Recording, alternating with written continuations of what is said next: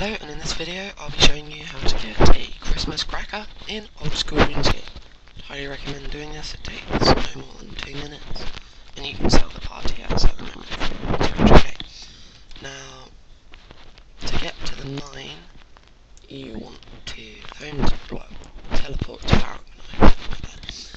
Run down here, when you pass this general store, you want to buy a hammer, and you want to run all the way down here, and then you want to mine three tin and six clay.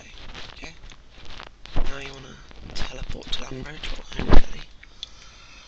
You want to run up here, Al Kharid.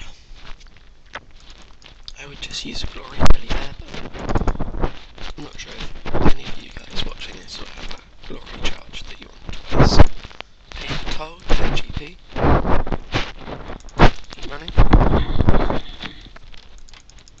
through here. Just follow where I'm going and you're gonna go to the store which sells thread. Then you wanna come in here. Talk to Dominic. That stuff you're carrying, is it for Jack? And you go, yes, help yourself. And here's your cracker, thank you. So you've got a Christmas cracker once when you pull these, they give a party hat as well as another item. So yeah, hope this helps you guys out and you learn from this and yeah, get yourself a free cracker guys. Take care.